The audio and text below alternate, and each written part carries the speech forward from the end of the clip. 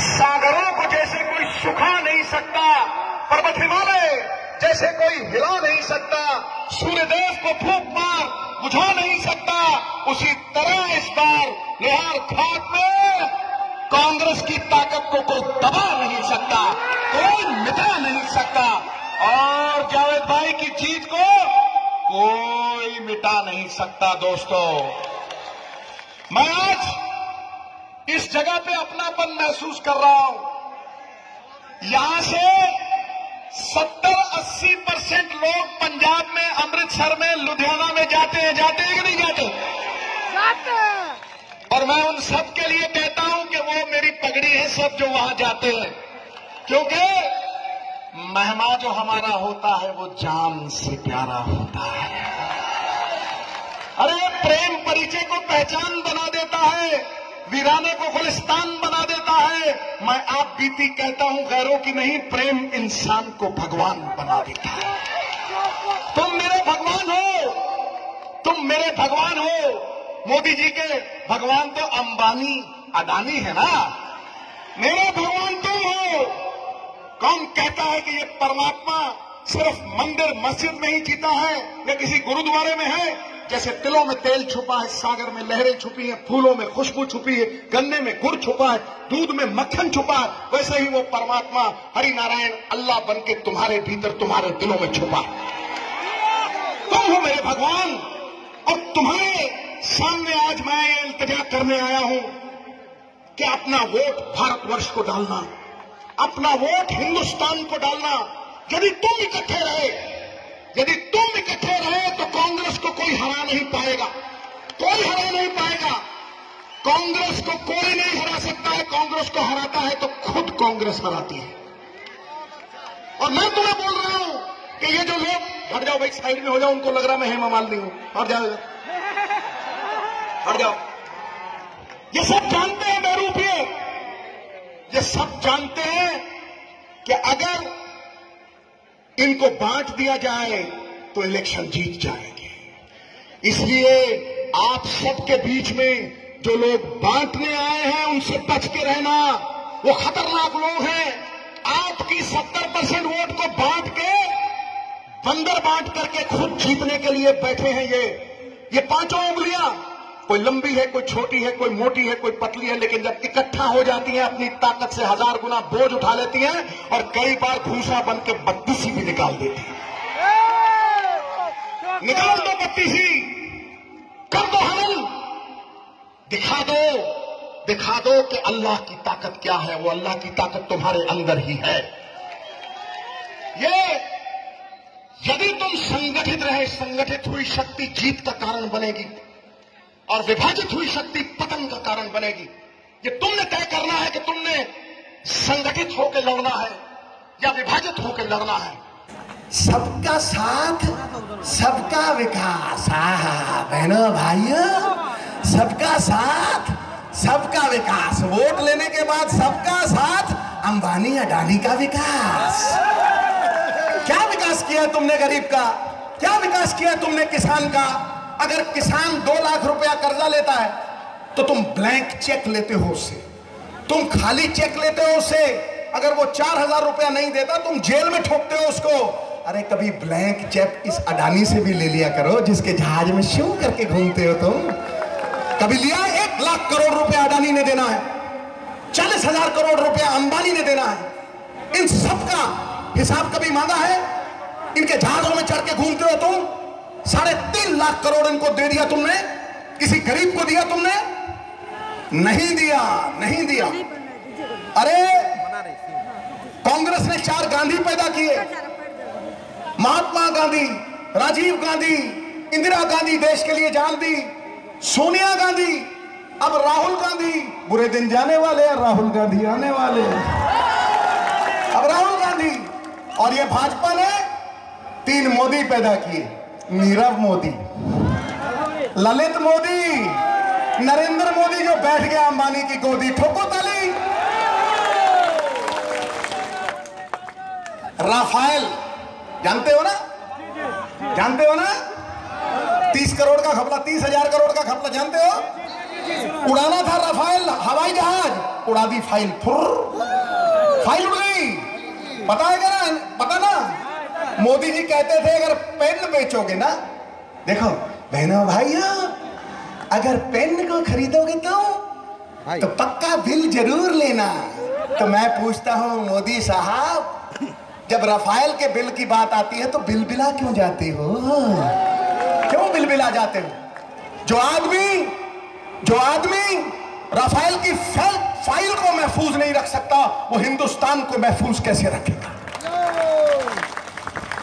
ये सब ये सब इनकी चोरियाँ हैं। और मैं आपको कह रहा हूँ, सबसे बड़ा देशद्रोह ये है कि सरकारी सरकारी कंपनियों को डुबो के ये अंबानी अडानियों को पैसे दे रहा है। सरकारी कंपनियों को डुबो के बीएसएनएल बीएसएनएल कितने बड़े कितने बड़े फ़ायदे में थी।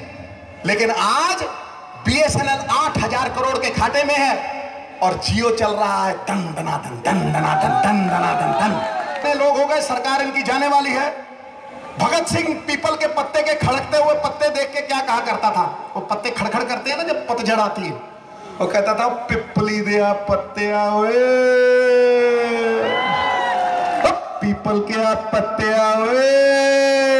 काहे की खड़खड़ खड़खड़ खड़खड़ लगाइया। पुराने पत्ते झड़ गए सारे। अब रुत गांधी की आई रुत गांधी की आई है। क्यों? बात जची कि नहीं जची? तो ठोको फिर। मैं इतना ही कहना चाहता हूँ तुम्हें कि नोटबंदी हुई, किसी गरीब को फ़ायदा हुआ, कोई अमीर लाइन में आके लगा, हुआ फ़ायदा? ये कहते थे नब्बे लाख करोड़ रुपए जो विदेशों के बैंकों में छुपा हुआ है। बहनों भाइयों, मैं वापस लाऊँगा और पंद्रह पंद्रह लाख तुम्हारी जेब में जमा कराऊँगा। आ गया? पंद्रह लाख आ गया? गंगा साफ़ हो गई। दो करोड़ नौकरी मिल गई। तो मिला क्या बाबा जी का ठुल्लू? ठोको ठोको, ताड़ी ठोको। ठोको, ताड़ी ठोको।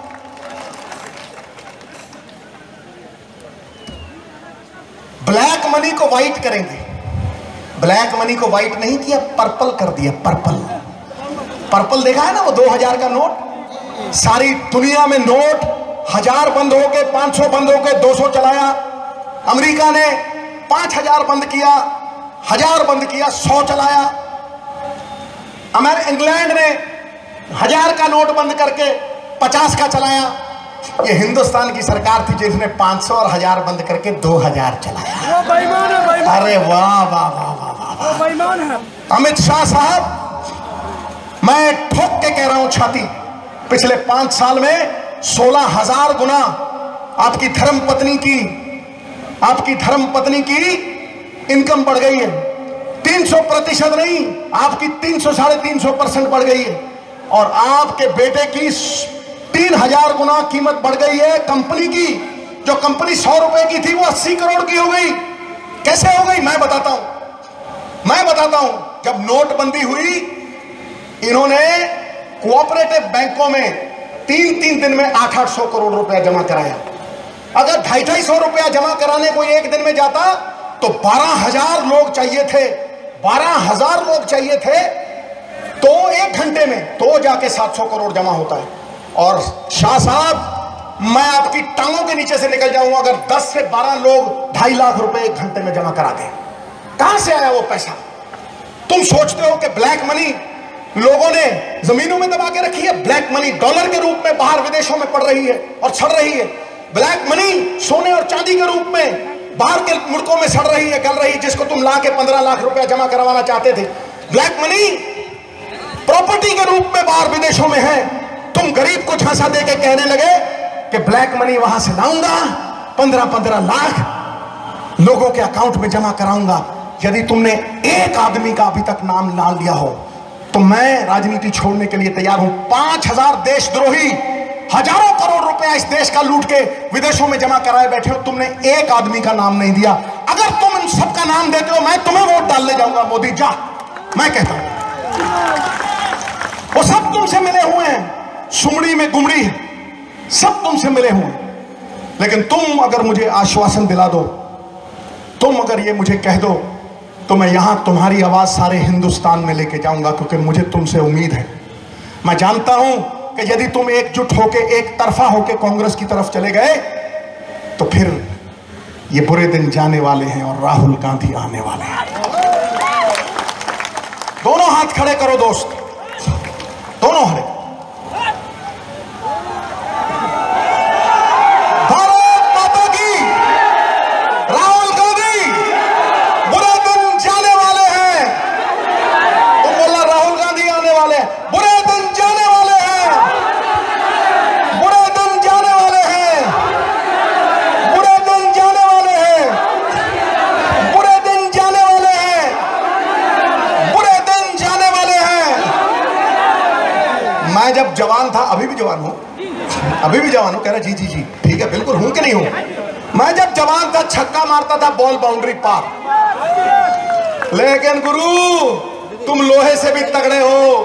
तुम ऐसा छक्का मारो कि भाजपा को हिंदुस्तान की बाउंड्री के पार मारो, ठोको दूध को भट्टी पे रख दो तो दूध का उबलना निश्चित। और जनता में रोष आ जाए आक्रोश आ जाए तो सरकारों का उलटना भी निश्चित। मेरा बाबा एक शेर गाया करता था। वो मैं गा के सुनाने वाला हूँ आपको। ताड़ी देखना टना टन बजेगी। तुम उर्दू भी, थोड़ी उर्दू उर्दू भी समझते हो गए समझते हो हाँ। दरबार वतन में जब एक दिन सब जाने वाले जाएँगे, हम वतन के दरबार में लड़ाई लड़ रहे हैं। ये कमरों में बैठ के एसी कमरों में कंप्यूटर पे लड़ाई लड़ रहे हैं। पचपन अकाउंट में से अठहत्तर हज़ार ट्वीट। ये मोदी जी की सेना है। अठहत्तर हज़ार जाली बंदे सब, पचपन बंदे, एक लाख बंदों का। मैं मोदी को प्यार करता हूँ, मैं मोदी को प्यार करता हूँ। हाथ बना बना के ठोको ठोको ठोको। झूठ है वो सब। झूठ है वो है ही नहीं। मैं ज़मीन की लड़ाई लड़ना जानता हूँ। मोदी साहब, आप तो पैराशूटर, मैं हूँ ग्रास रूटर ज़मीन से लड़के। ज़मीन। और ज़मीन की बात करता हूँ, दरबार वतन में जब एक दिन सब जाने वाले जाएँगे, कुछ अपनी कजा को पहुँचेंगे, कुछ अपनी सजा को पाएँगे। ऐ खाक नशीनो, उठ बैठो। अब वक्त कहाँ आन पहुँचा है, जब दिल्ली के तख्त गिराए जाएँगे और ताज उछाले जाएँगे बढ़ते भी चलो, चलते भी चलो, बाजू भी बहुत है, सर भी बहुत। बढ़ते भी चलो, चलते भी चलो, बाजू भी बहुत है, सर भी बहुत। अरे चलते भी चलो, चलते भी चलो, कि अब डेरे लाल किले पे झंडा फहराने को डाले जाए। ताली के। घोषणा पत्र। मोदी का घोषणा पत्र। पकड़ लो पूछ। झूठ का पुलंदा। तीन सौ चौरासी वायदे। वायदे और अंडे टूटने के लिए ही होते। होते कि नहीं होते? कोशिशें कामयाब होती। मैं आपको कहता हूँ, तीन सौ चौरासी में से एक भी वायदा पूरा किया हो, पिछले मैनिफेस्टो का, एक भी वायदा पूरा किया हो तो मैं मानने के लिए तैयार हूँ। मैं गुरु गोविंद सिंह का दरबार, और रामायण में लिखा है, हमारे लिए तो सब ग्रंथ एक रामायण में लिखा हुआ है कि रघुकुल रीत सदा चली आई, प्राण जाए पर वचन न जाए। लिखा है कि नहीं? गुरु गोविंद सिंह कहते थे। गुरु गोविंद सिंह कहते थे। वो क्या कहते थे? वो ये कहते थे उनके दरबार में किसी ने पूछा बंदा कौन सा अच्छा और औरत कौन सी अच्छी? किसी ने पूछा बंदा कौन सा अच्छा और औरत कौन सी अच्छी? कोई कहो जी आठ फुट का कद हो और डोले फड़कते हो। चौड़ी छाती छप्पन की नहीं बयालीस की। चौड़ी छाती ये देश छप्पन इंच से नहीं चलने वाला दरिया जैसे दिल से चलेगा। हाँ? तो कोई कहे जी चौड़ी छाती आठ फुट का कद हो, डोले फड़कते हो, मारे घूसा बंदा ही धरती में गाड़ दे बंदा तो वही अच्छा होता है। तो कहे जी, कोई कहे जी, औरत वो अच्छी, जिसकी आँखें बिल्लौरी नैन नक्श देख, मुँह खुलने का खुला रह गया इसका। है तेरे मेरे लल्ला, शाबाश। तो गुरु साहब ने कहा, बात सुनो भाई, बंदा वो अच्छा जो वचन का पक्का, और औरत वो अच्छी जिसकी आँखों में शर्म और हया होती मत रोको ठोको ठोको तो मुझे बताएँ मोदी साहब कि आप कहाँ से बंदों वाली बात की कौन सा वचन पूरा किया आपने कौन सा वायदा पूरा किया गंगा साफ़ की तो बताओ दो करोड़ नौकरियाँ दी हो तो बताओ मोदी साहब पिछले साल एक करोड़ दस लाख नौकरी गई नौजवानों की खाक छान रहे हैं आप कहते थे किसान की इनकम डबल कर दूँगा। क्या डबल हुई? हुई। लेकिन अडानी की तो 800 गुना बढ़ गई। अडानी के लिए बिजली बिजली बढ़ाने के लिए बांग्लादेश गए। तीन रुपए की बिजली, उसकी पाँच रुपए में बिकवाई। झारखंड को 700 करोड़ का घाटा पड़ा। मैं आपको बता रहा हूँ, बहनों भाइयों, मैं बता रहा हूँ आपको कि अडानी को इन्होंने 1220 एकड़ ज़मीन 40 करोड़ में बेची। 1220 एकड़ ज़मीन 40 करोड़ में बेची। और वो ज़मीन अडानी ने अंबानी ने 4800 करोड़ की बेची सीमेंट प्लांट के लिए लगाने के लिए दी थी।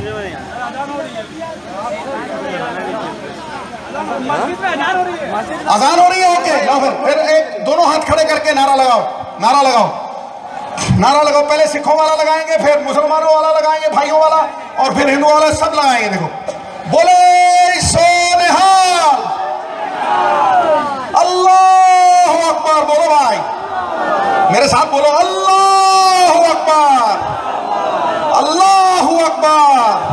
हम सब एक हैं मेरे भाई, एक हैं। तुम मेरे भगवान हो, दोनों हाथ खड़े करके एक भारत माता की जय कर दो।